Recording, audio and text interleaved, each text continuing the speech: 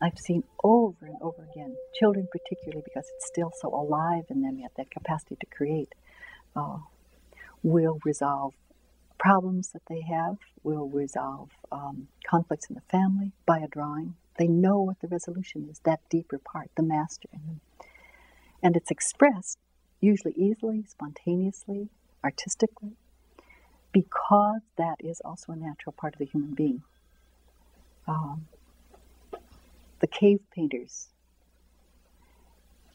early ones in France, uh, the, the, petroglyphs that one finds in the Indian caves around here, uh, are very much related to that early spontaneous uh, capacity to, to create ourselves by creating out of ourselves.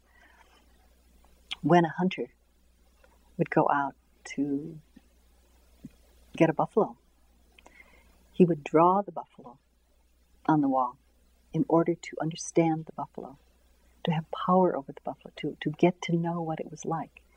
So that when he met the buffalo, he would already have knowledge of the buffalo. He was expanding, he was teaching himself about the buffalo by his own action as he drew it on the wall.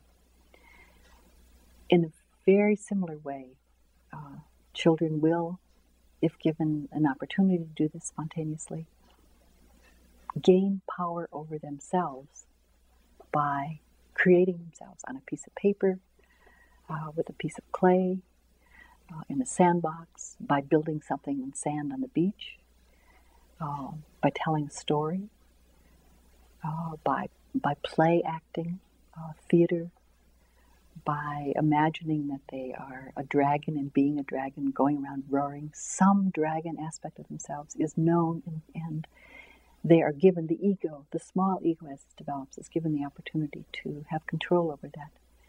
And not only control in the sense that let's get rid of that dragon, let's learn how to control it, but they begin to have an intimation that they are also part dragon.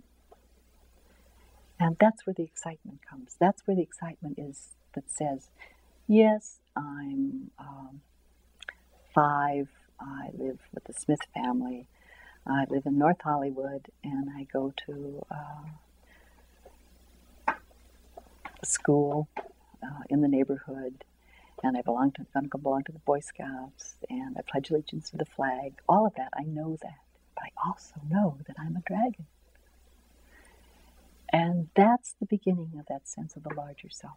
Those forms, the forms of um, play acting, those forms of the creative arts, the forms of painting, music, sound, song, storytelling, um, myth telling, uh, legend, all the acts of the old troubadours, uh, the wise men, the Indian grandmothers sitting around the, the fire at night, uh, spontaneous, natural ways of keeping alive these larger aspects of ourselves.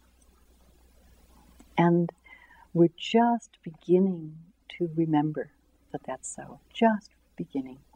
Uh, the storytelling form is beginning to re enter our culture. Um, we're beginning to pay attention to the old myths, uh, to the fairies, fairy tales, uh, the legends.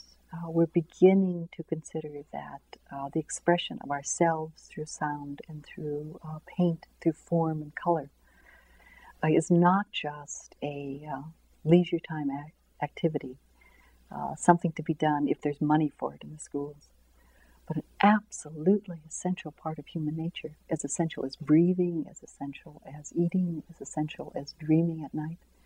Uh, all of these actions of ourselves, which allow the master, the deeper part of ourselves, to instruct us about ourselves.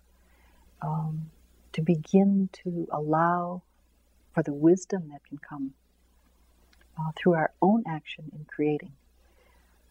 For my belief is that as we create in that form, we are actually in the process of creating life, our lives, and consequently the life of the collective in which we live.